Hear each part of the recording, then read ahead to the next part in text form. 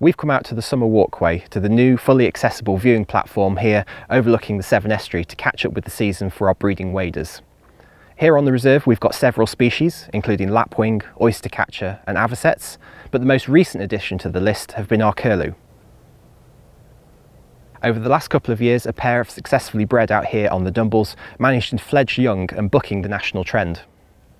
Across the world, there are eight species of curlew, but two of those are already thought to be extinct, with three more classified as near threatened, including the species we're familiar with here in the UK, the Eurasian curlew.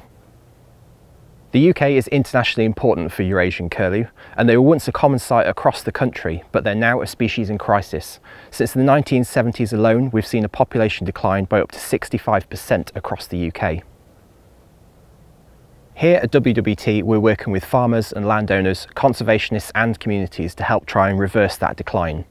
In 2019, here on the reserve at Slimbridge, we released 50 birds to help bolster the population for the Severn and Avon Vale, and this year we'll be expanding that work to support other projects running across the UK. And back here on the reserves, our wetland centres, we'll be continuing to provide them with safe spaces to breed and spend the winter.